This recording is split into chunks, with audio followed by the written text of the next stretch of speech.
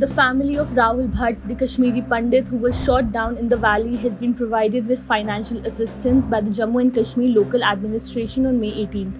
Rahul Bhat was shot down by terrorists inside the Tehsil office in Chadoora town in Budgam district of Jammu and Kashmir on 12th May. Apart from rupees 5 lakh as financial assistance, the administration has also sanctioned compassionate appointment of Bhat's widow, Minakshi Rana in a pay level of rupees 14,800 to 47,100 in government higher secondary school, Novabad, Jammu, they said. According to the official report, the letter and the check were handed over to Bhat's father by Jammu Divisional Commissioner Ramesh Kumar and Additional Director General of Police Jammu Mukesh Singh. Bhat had got the offer of a clerk under the Special Employment Package for migrants.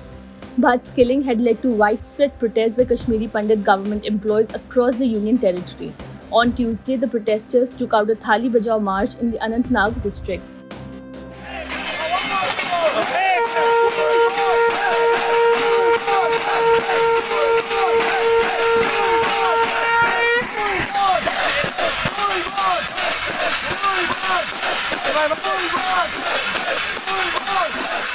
Subscribe to One India channel and never miss an update.